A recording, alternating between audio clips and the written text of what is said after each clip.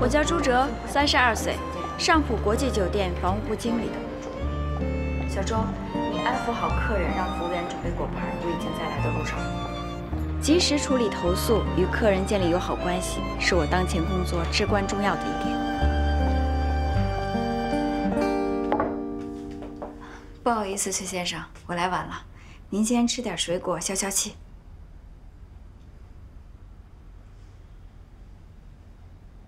你又是哪位啊？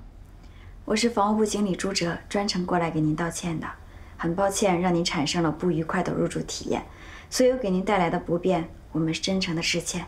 您有什么需求，我会立刻向我们总监汇报申请，一定做到令您满意为止。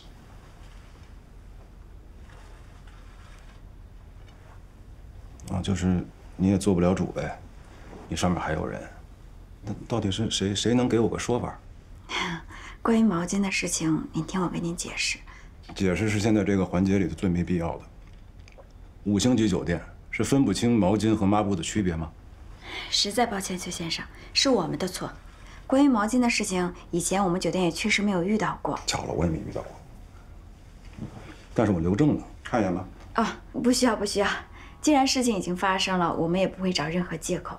您的投诉也是在督促我们提高服务水准。这样。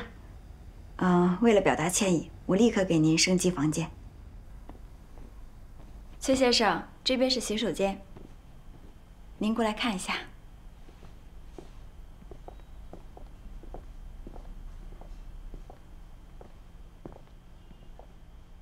崔先生，其实我们的毛巾呢，在服务员打扫卫生的时候都是每日一换的，而且这些毛巾都是要经过五道消毒工序，通过批准才可以拿到房间里来。所以绝对不可能出现重复利用的可能性。当然，无论这些毛巾再怎么干净，也不应该在打扫卫生的时候顺手擦水台。我再次向您道歉，也向您保证，一定会严肃处理相关人员，给您一个满意的答复。还有，我注意到您这边没有预订早餐，给您准备了几张早餐券，以及楼下 SPA 馆的现金券。您在工作之余呢，可以去楼下做一个 SPA，放松一下心情。这家 SPA 馆的社会评价还是不错的。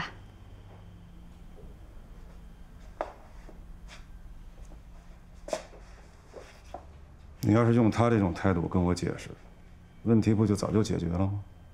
瞎耽误功夫。不好意思，也希望您在接下来入住的几天继续监督我们的工作。您有任何不满意，可以随时打我的电话，我一定第一时间解决。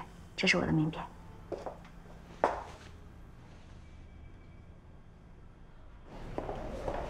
李姐，你怎么每次做事都是毛手毛脚的？出纰漏不是一次两次吗？这只能全怪我吗老张，他请假了。我这全楼就我一个人，我这一个人收拾几十个房间啊！前台一直催，一直催的，你说我能顾得上吗？你们继续做领导的也应该理解理解吧。我理解你，谁理解我呀？那这些酒店的每次出事都是我给客人赔笑脸，出了事不找你找谁呀？你们两个，要不酒店门口说去。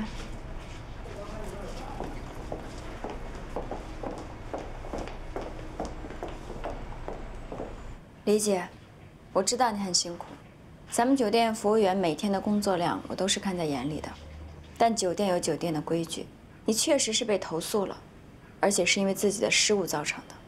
按照酒店的规矩，今天的工资我要扣掉。但鉴于你平时的表现，这个月我特批你一天假，带薪的。嗯，那我听你的，朱经理。忙去吧。嗯，谢谢朱经理。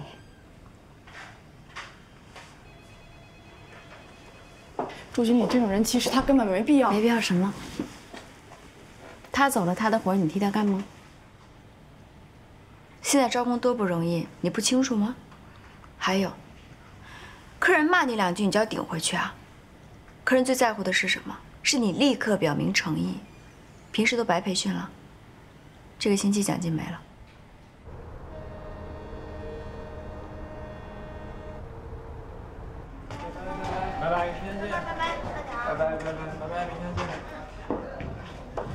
处经理，您放心，专利的事儿我们三个一直在积极的推进，一定可以按时完成的。我就知道你们三个靠谱，哎，做差不多是抄送我一份啊。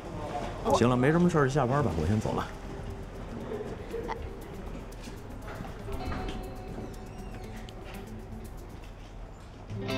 我于初辉，上交大光学工程专业毕业，是南新数控的一名助理工程师。别人都羡慕我能端着铁饭碗，但我吃着一点也不香。又问了专利的事是吧？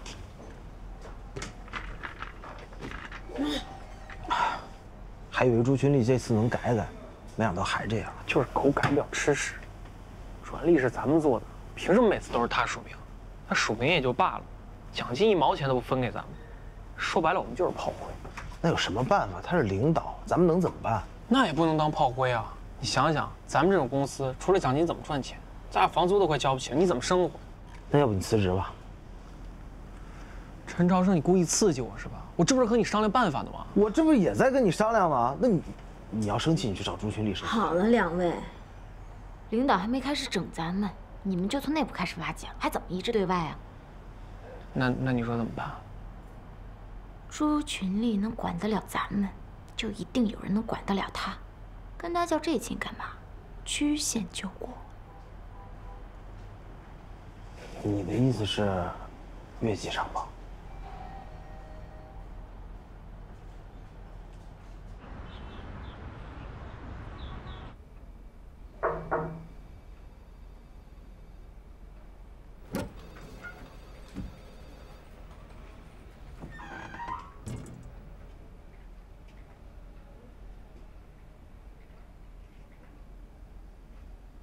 主编，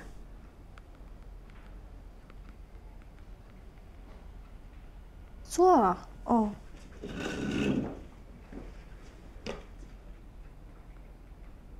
你稿子写完了？嗯，写完了，已经发到您邮箱了。挺快呀。主要是您的命题好，我一看完就灵感爆棚。继续。主编，我觉得我们不能为了娱乐而娱乐，而应该告诉大家，娱乐背后是一种文化现象，是有很深的哲学意义的。就比如小说改编漫画这个专题，我们不仅要从娱乐性上走，而且要对这种现象进入深入的探讨。我们通过这个专题，可以让大家知道，这不仅是一种娱乐方式，更是一种文化现象，是对当今社会有很深的认知的。我们可以通过我们的文章来调动大家的审美，唤起大家的改变意识，这可是一件很有社会价值的事情，也是我一直很想做的。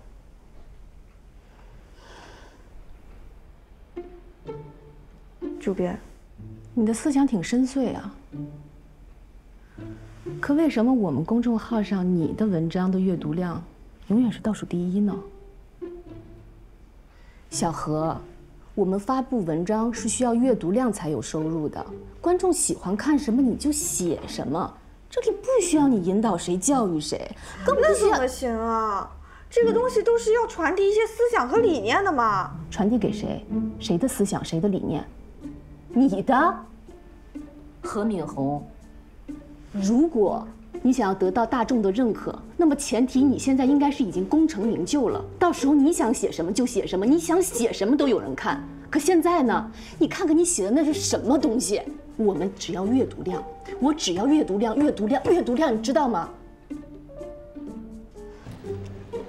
你说说看，我们这些握笔杆子的，为什么只能当个摇旗呐喊的从众者，却不能真实的表达自己的观念和想法？这文学不就是百花齐放，百家争鸣吗？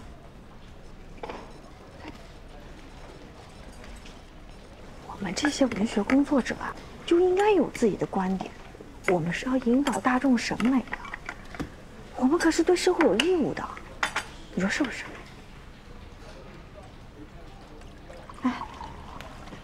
难不成是我们人微言轻，凡事不必上头，拿人钱财替人消灾？别人说什么，我们怎么写就行了？这种背着初衷的事儿，你干得出来呀？这对我来说只是份工作，我来的目的也只是为了赚钱啊。我叫何敏红，今年二十四岁，毕业后便进入了镇雅传媒，变身小文案一枚。我不愿意一边梦想着远方的田野，一边奔波眼前的苟且。朱姐，何敏红，我就快到欢乐颂了，我先打伞，等你们哦。我下班了，我现在马上过来。你们先收拾自己的房间，等我到了以后呢，再收拾公共区域。瞄准滴滴答答，把阳光聚焦，快乐叽叽喳喳，转一个微笑。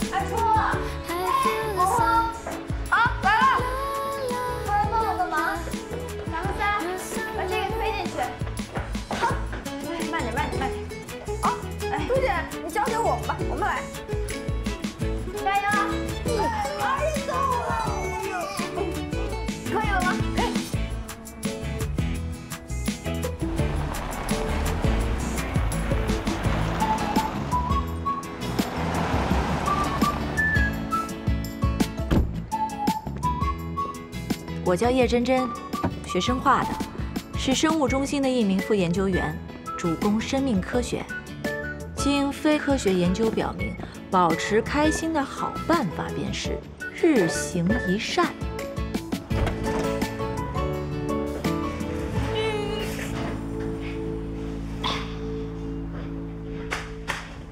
打扫的差不多了。嗯，哎，就差卫生间了。今天多亏了红红啊，你要是不买那个拖把，咱们仨只能像一休哥一样拖地了。嗯，以后我们都住在一起，不用这么客气。嗯。哦，对了，朱姐、阿初，我跟你们商量件事儿吧，就是这个房子不是南北通透的，抽油烟机也是坏的。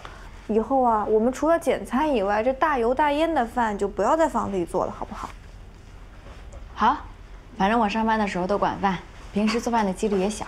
我不会做饭，不太用得到煤气。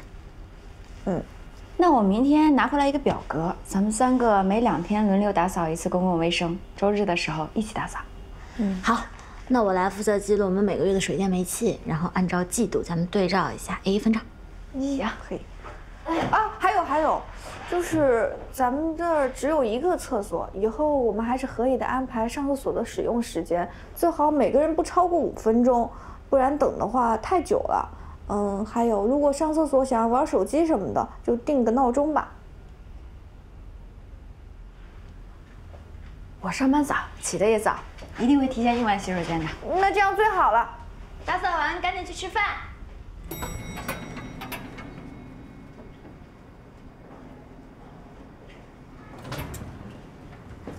红红，你帮我把八四拿一下。嗯，我有酒精，你要不要，朱姐？双管齐下可以更干净。好像这两个不能混在一起用，会产生氯气，那可是剧毒啊。那个，严格来讲其实不会。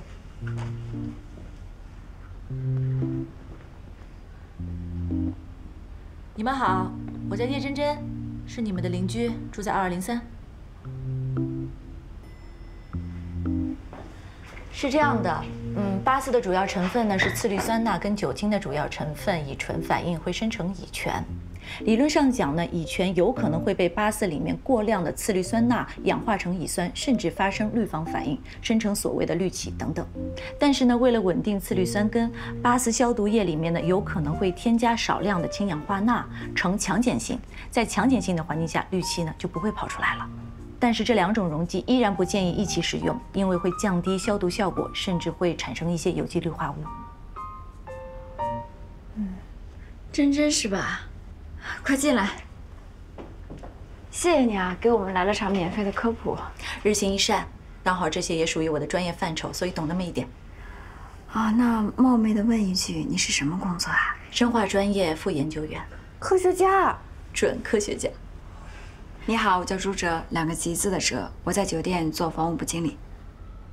啊，原来这个字读哲呀，我一直默默的秀才识字读半边呢。朱姐是两个吉，真真是哪个真啊？草字头下面一个秦朝的秦，草木茂盛的意思。桃之夭夭，其叶蓁蓁，李桃花开非争艳，折折聪慧不等闲，都是好名字。我叫何敏红，人远悲天悯人之怀的悯，燕雀安知鸿鹄之志的鸿。我就是个小写手，文学编辑是我的下一个目标。红红你好。啊，你好。我叫于淑辉，小名阿初，不用多问，就是烂大街那三个字。阿初你好，珍珍你好。啊，既然第一次见面的话，作为东道主的我，一会儿请大家吃个饭。在这住了两个月的优势就是知道哪家馆子最好吃。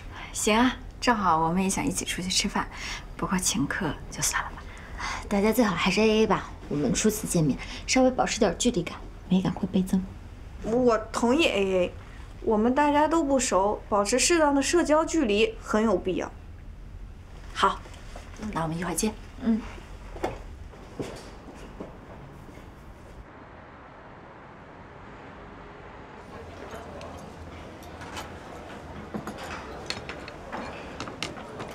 人还挺多的嘛，看来味道一定不错。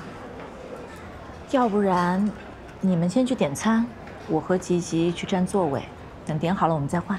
嗯。你刚才叫我什么？吉吉？吉祥如意啊！你还真是个秀才啊！夸我吗？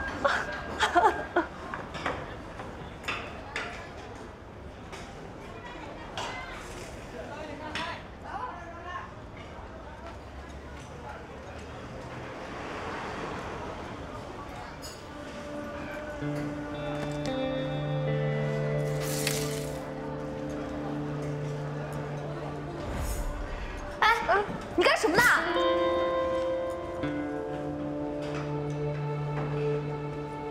谁啊？你谁？别在这装！怎么了？你刚才拿手机偷拍我的朋友，把手机给我拿出来！我警告你别在这瞎说啊！哎，你凭什么说我偷拍的？我拍你哪了？你今天不把手机拿出来，把照片删了，我现在就报警，你信不信？给我！你还真别拿警察吓唬我，你自己朋友都没说什么，你在这胡搅蛮缠是吧？哎，我拍你了吗？哎，我拍你了吗？何敏红，你别怕。哎，你怎么还走呢？给我站住！这位先生，既然刚才有人指控你偷拍，你就应该配合我们证明你的清白。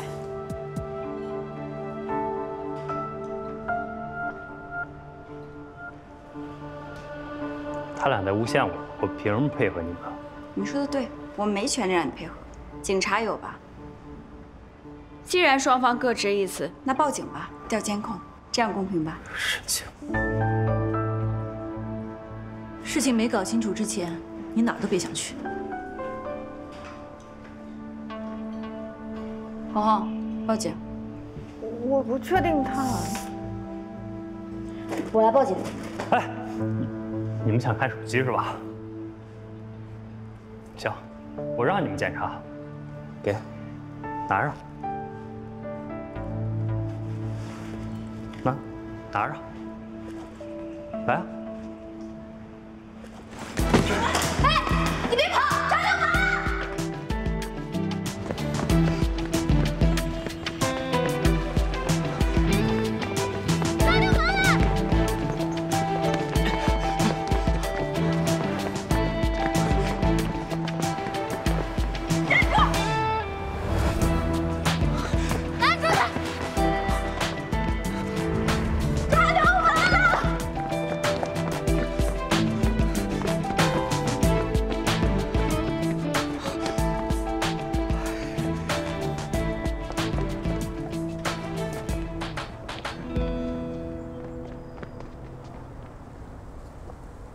说你们没完了是吧？你偷拍还有理了？拿出来！我说没拍就是没拍，我警告你们，别多管闲事。你给我让开！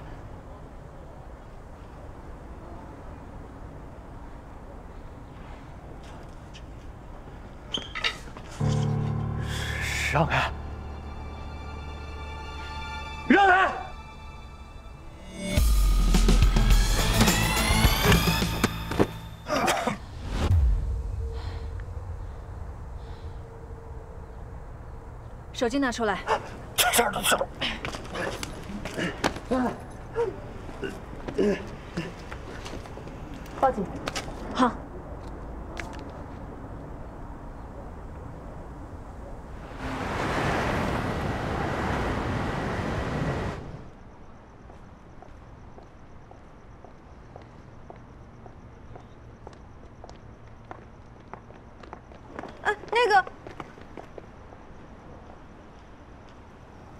的事，谢谢你。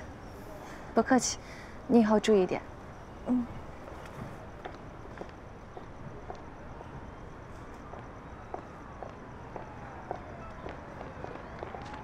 红红，嗯，手机检查过了，视频都删了，放心吧。好。哎，那女侠呢？走啦？呃，刚走。怎么就走了？人家帮你这么大的忙，怎么也得请她吃顿饭吧？对啊，我应该要联系方式的。哎，别追了，说不定过几天可以看见他的。珍珍，你认识他？他是我们的邻居，住二二零幺。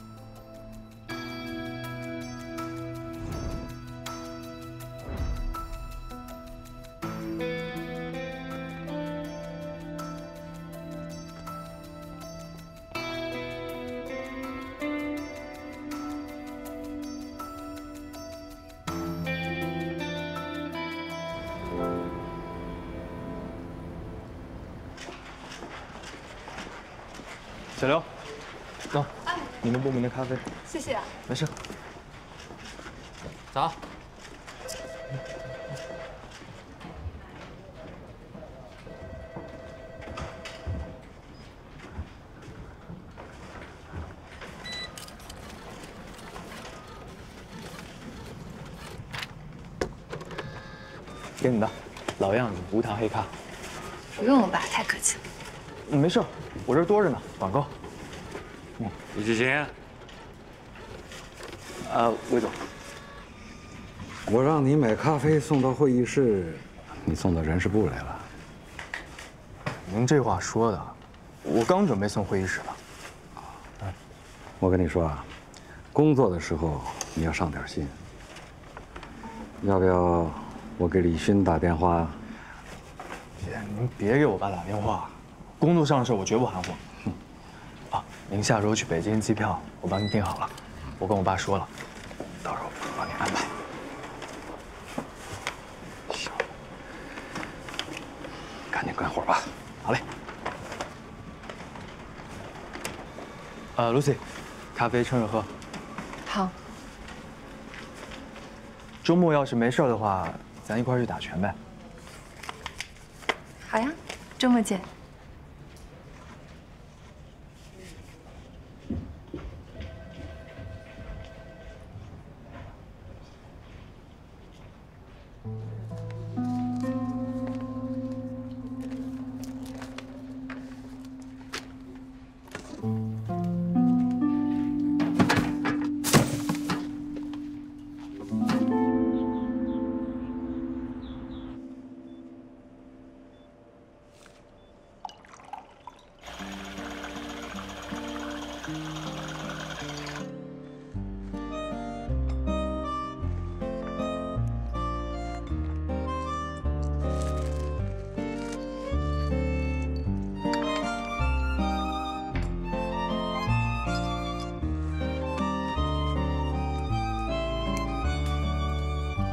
明天见，拜拜。明天见。这次的实验结果不错啊，验证了之前的假设，看来这两天没白熬。周末放假，不加班了。谢谢小师傅。太好了，有小师傅这么体贴的领导，我真是越来越热爱工作了。行，那你把实验报告写一下，晚上我检查。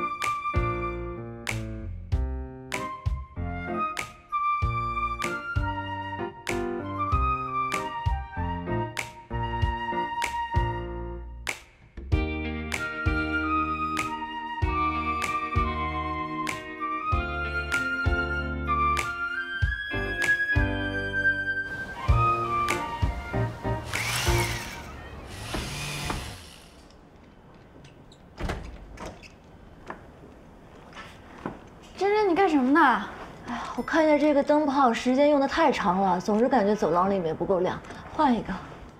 谢谢你啊，给大家做了一件大好事。日行一善，真真，我爱侬，我也爱侬。看在侬爱我的份上呢，我心一软，收留你这个美的没朋友的人做朋友，你要万分珍惜我哦。真真，你私自换灯泡的话，物业会不会不同意啊？毕竟这是公共区域，如果你的电力不符合他们标准的话，会不会出什么问题？楼道里用的呢是白炽灯，费电寿命又短，而我换的呢是 LED 灯，省电明亮又耐用。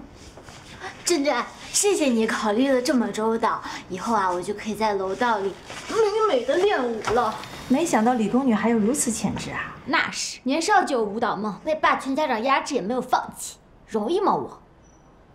就羡慕你这种多才多艺的小家伙了。我上学那会儿真傻的可以。朱姐，你说的多才多艺是指在现代，我要是搁在民国呀，我这样的就只能做个交际花儿。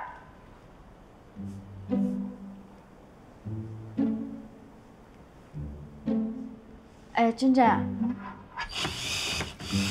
一会儿我在楼梯间里面熬牛肉酱，你感不感兴趣啊？真的啊？老干妈那种，比那个料更足。求偷师啊！行啊，没问题。我现在越来越庆幸我爸妈买了这里的房子。哎，我听说你回国也没多久，那工作时间也不长，又没结婚，购房资格……嗨，我呢是作为留学回国人员办的上海的户籍。哎呀，不过呀，当然了，还是要靠我爸削尖了脑袋替我运作。你你出国留学是为了办户口啊？哎，你太禽兽了！我爸妈的想法被你猜得透透的，这样不是影响公平竞争吗？来来来，让我们欢迎何老师道德大讲堂正式开讲，地儿都给你腾出来了。真真这么做影响了公平竞争，不是吗？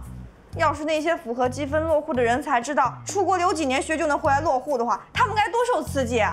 呃，也没有那么简单。真真说她出国留学可以回来办户口，并不意味着她出国留学只是为了回来办户口。还有，我亲眼看见珍珍自掏腰包给我们换灯泡，你看见了不说帮忙也就罢了，还在这翘着兰花指谴责她的三观。我哪有翘兰花指说了？你这不就翘兰花指了？好了好了，别吵了，别吵了。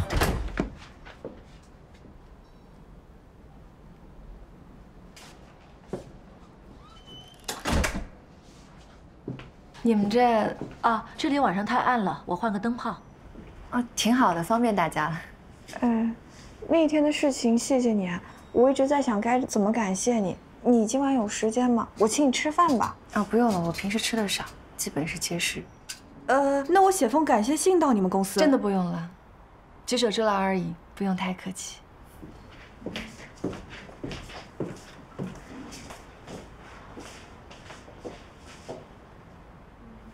那天在派出所，你走的太匆忙了，我们还没来得及认识一下呢。我记得你叫方芷恒，齐留雨雨皆车兮，杂渡恒与方叫我 Lucy 就行了。啊，Lucy，你好，我叫何敏红，人远悲天悯人之怀，怜悯的悯，红艳的红。我阿初，这位是珍珍，这位是朱姐。Lucy 呀，哎，我职业病的想到了 Lucy 奶奶。是目前所知人类最早的祖宗。哦，那我以后可以这么介绍自己。Lucy 奶奶，你腿长得真好看，又长又直，你该不会是个运动员吧？金融打工妹，你们有搞金融的吗？以后可以多交流交流。朱姐是做酒店的，阿初是助理工程师，珍珍是科学家，准科学家。我就是个小写手。除了金融专业，看你身手有点像那个练家子。啊，我练 MMA 比较接近实战。我可以去看一下吗？女孩子在外面总是要学会保护自己的，方便吗？没问题啊，我其实现在正要去，然后这家也不是很远，不过没有直达的公交车，可能我们要骑一下共享单车。我有车，我给你当司机。好呀，阿初，你也一起去吧。综合格斗听起来不错。我去不了，我还得去兼职，打工人打工魂，你们去吧。呃呃，我我可以去看看吗？之前的事情之后，我觉得我有必要去增强一下自我的保护能力了，可以吗？当然了，人多好起哄嘛。你在 B 一等我吧。行，我下去等你。一会儿见。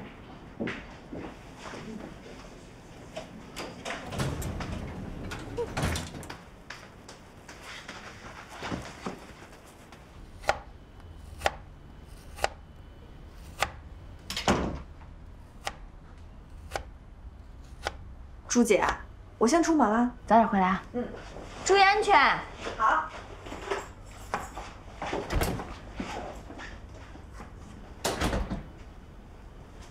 哎呀，世界总算是清静。何必呢？他心地不坏。这小男人啊，谁的刺儿都挑，好像在他眼里，咱们没一个三观是正的。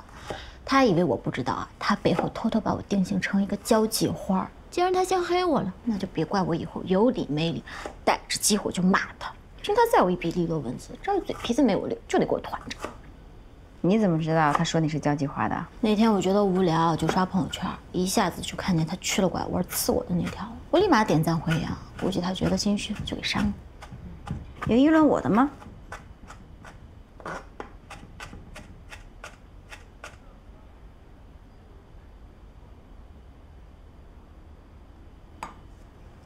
意思是这条，时间正好是我们第一天来欢乐颂小区看房的那天，也被他给删了。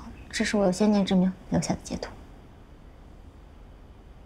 这网上能说会道的，跟本人真不太一样。是啊，他现在朋友圈也设置成三天可见了，一看就是自己觉得理亏。哎妈呀，来不及了，我得去换衣服了，待会儿要去舞蹈室，朱姐下午见啊！哎，我怎么老换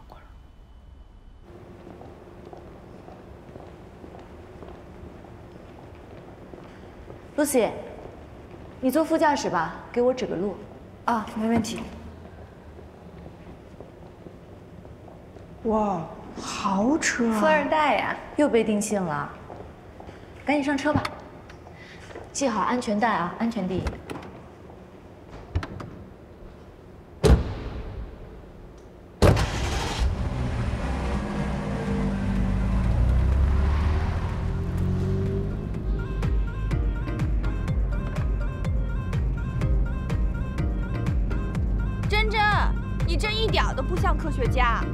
我偶像严一正教授也不像个科学家呀，不到三十岁就当教授了。我当时听了严教授的一个讲座呢，就狗血沸腾的酝酿着跟着偶像改了专业。考硕士的时候呢，就考到了生化专业。微信昵称呢，也是跟着偶像的姓，叫严正义，算是向偶像致敬吧。言及正义，那你这向偶像致敬也不说的正经一点。我相信我的偶像就喜欢我这种不正经的致敬。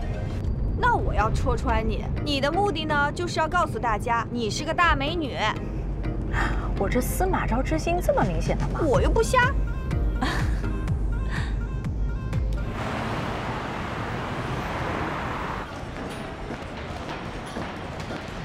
哎，这都多久了还不来？你确定情报准确吗？急什么？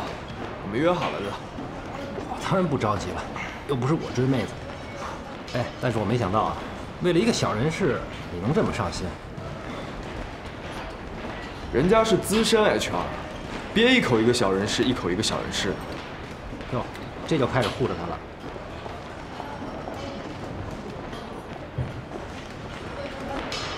啊，Lucy，来了。你来这么早？啊，没有，我们刚到。啊，对，刚到五十分钟吧。呃，但是为了等几位美女，值得。他们是我的邻居，今天来体验一下。Hello，啊，我叫李奇行，Lucy 的好朋友。这位是同事小黄。我叫叶真真，这位是何敏红。那我先去换下衣服，你们随便参观一下。好。Lucy，Lucy，今天有空的话，要不要去对抗一下？最近练了那么久基础训练，我都玩腻了。你要跟我对抗训练？可以啊，那我先换衣服。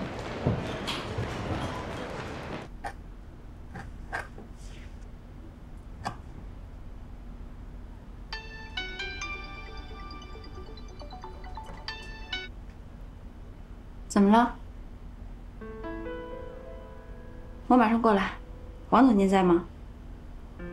行了，你不用通知他，等我到了以后再说。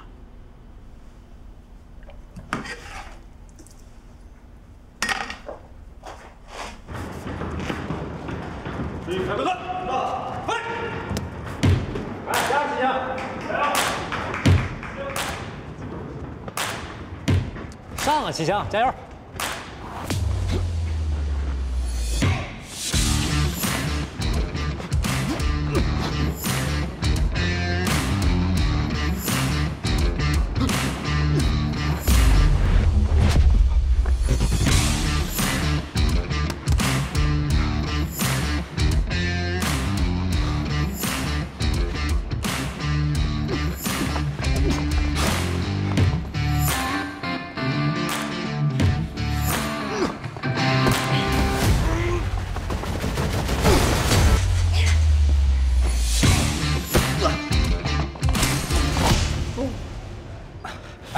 兄弟，你行不行啊？这还不到一分钟，你怎么就虚了？你太虚了吧你！你别丢人啊，快上！这两个人明显不在一个水平线上。Lucy 还没进攻呢，这也太帅了吧！快上，齐星，加油！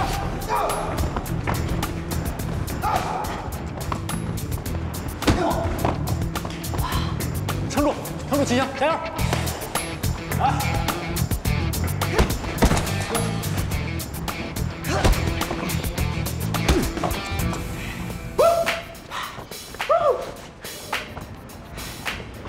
加油，齐强！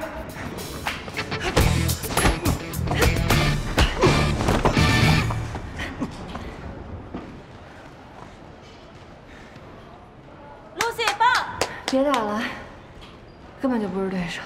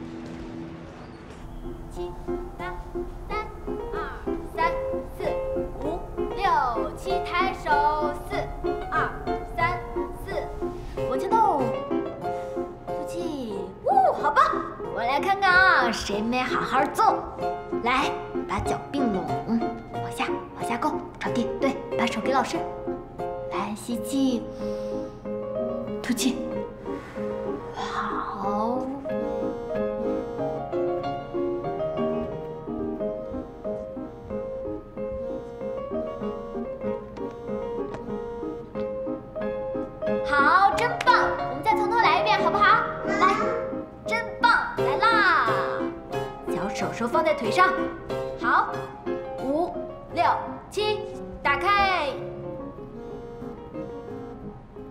一、二、三、四、五、六。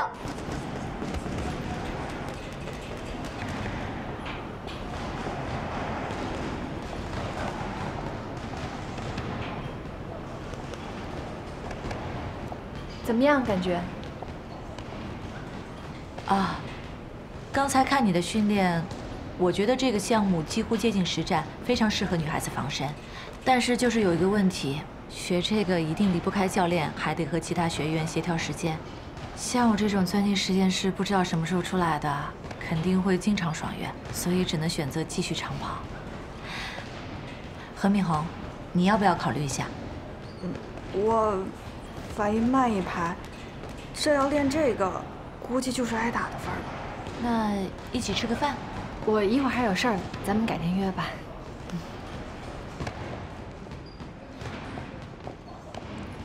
Lucy，你没事吧？我没事儿，你没事吧？我我没事儿，我当然没事儿。行，下回见。哎，要不我送你吧？不用了，我们三个都约好了。那我送你们三个。我说了不用。拜拜。拜拜。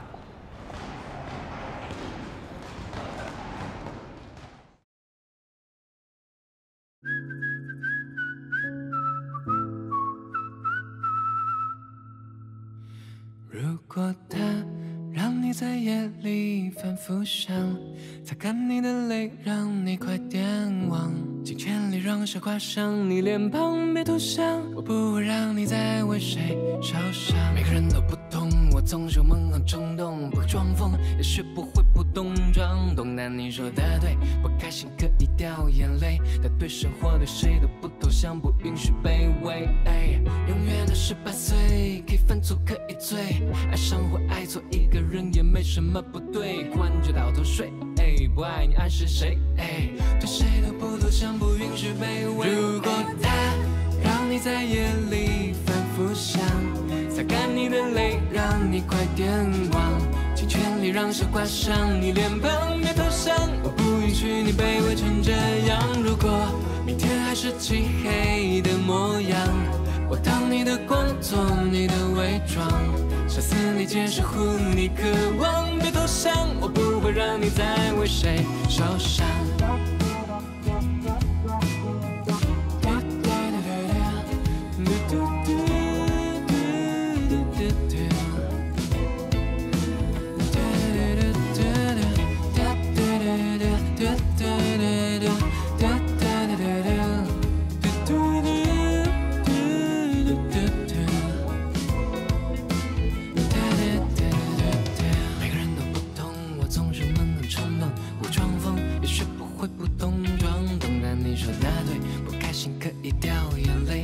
生活对谁都不投降，不允许卑微。哎，永远的十八岁，可以犯错可以醉，爱上或爱错一个人也没什么不对，关就到头睡。哎，不爱你爱谁谁？哎，对谁都不投降，不允许卑微。如果他让你在夜里反复想，擦干你的泪，让你快点忘，尽全力让笑挂上你脸庞，别投降，我不允许你卑微成这样。如果明天还是漆黑的模样，我当你的光，做你的伪装，杀死你，解释护你渴望，别投降，我不会让你再为谁受伤。